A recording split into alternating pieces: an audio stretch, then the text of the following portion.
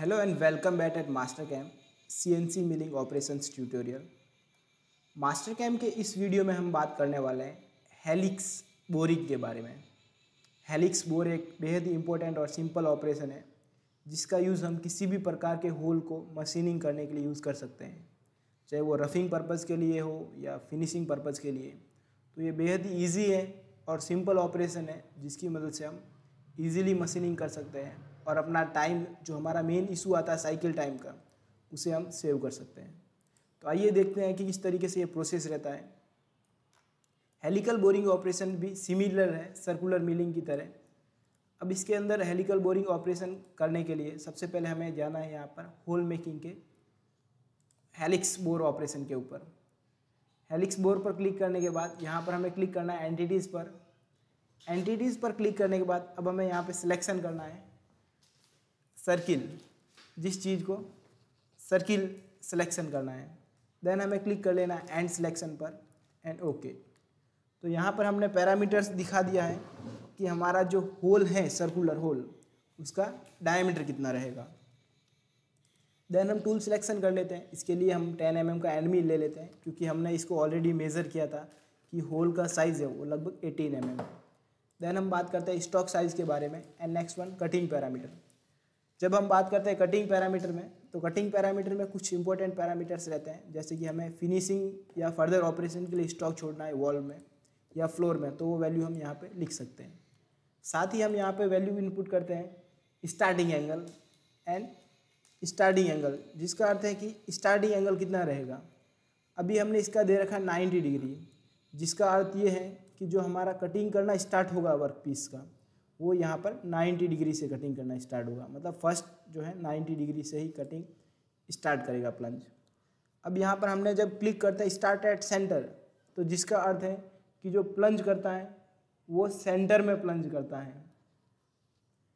और यदि हम बात करते हैं परपेंडिकुलर एंट्री तो परपेंडिकुलर एंट्री पे क्या होता है एंड स्टार्ट एंड सेंटर में क्या होता है, मैं अभी आपको थोड़ा डीपली बता देता हूँ। उसके बाद जो सबसे इम्पोर्टेंट पैरामीटर्स रहते हैं, वो हमारे इसके अंदर रहता है रफिंग एंड फिनिशिंग पैरामीटर जब हम बात करते हैं रफिंग एंड फिनिशिंग पैरामीटर्स के बारे में तो यहाँ पर सबसे पहला हमारा ऑप्शन रहता है रफ पिच रफ पिच का अर्थ हो गया कि हमारा एक बार सर्कुलर में घूमेगा तो कितने एम mm डेप्थ में जाएगा। तो हमने इसके लिए यहाँ पर रफिंग का ऑपरेशन है तो यहाँ पर टू एम mm लिख रखा है। हम यहाँ पर as per material tool selection के अकॉर्डिंग ईजिली सिलेक्ट कर सकते हैं। सिमिलरली नेक्स्ट वन ऑप्शन है नंबर ऑफ़ रफ पासेस यदि हमें number of rough passes increase करने हैं तो यहाँ पे हम वो वैल्यू लिख सकते हैं। एंड थर्ड वन पैरामीटर है feed rate at finish depth feed rate का अर्थ क्या हो गया कि जब हमारा होल कोई भी कटिंग करने बैठ जाएगा तो फिनिशिंग के अंदर डेप्थ के अंदर जाएगा तो उसकी फ़ीड रेट यदि हम कम करना चाहते हैं तो यहाँ पे उसकी फ़ीड रेट को रिड्यूस भी कर सकते हैं, जिससे कि हमारा नीचे की समय जब कटिंग करेगा तो मटेरियल जो है कम कांटेक्ट में रहे। नेक्स्ट में यदि हमें फिनिशिंग ऑपरेशन भी करना है तो यहाँ पे मार्क करके फिनिशिंग भी सिलेक्शन कर लेंगे। यहाँ पर फिनिशिंग के अंदर तीन अलग अलग मेथड्स रहता है। सबसे पहला helix upward, helix downward and circle अब आइए समझते हैं हेलिक अपवर्ड का अर्थ क्या होता है। हेलिक अपवर्ड का अर्थ हो गया कि बॉटम से कटिंग करना स्टार्ट होगा और कटिंग करते करते ऊपर की तरफ़ जाएगा। डाउनवर्ड का अर्थ हो गया कि ऊपर से कटिंग करते हुए स्टार्ट होगा फिनिशिंग के दौरान और बॉटम की तरफ़ जाएगा। एंड थर्ड वन है हमारा सर्किल सर्किल का अर्थ हो गया कि टूल डायरेक्टली बॉटम में जाएगा और बॉटम में एक फिनिश कट ले लेगा।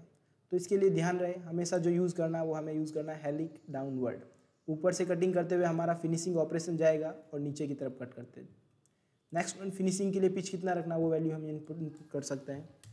पिच वैल्यू थोड़ा डाउन कर लेते हैं। फिनिशिंग के लिए स्टेप और कितना रखना है? नेक्स्ट वन यदि हमें इसके लिए फिनिशिंग के लिए फ़ीड रेट देना है या स्पेंडल स्पीड देना है, वो वैल्यू भी हम इनपुट कर सकते हैं। लास्ट एंड फाइनल हमारा जो पैरामीटर है, वो लिंकिंग पैरामीटर्स तो linking parameter clearance retract feed plane top of the stock यहाँ पे क्लिक करेंगे और इस टाइप की प्रोफ़ाइल है तो हमें टॉप ऑफ़ द स्टॉक ये ले लेना है और डेप्थ पर क्लिक करके हमारी वर्क पीस को डेप्थ दे देना है। And okay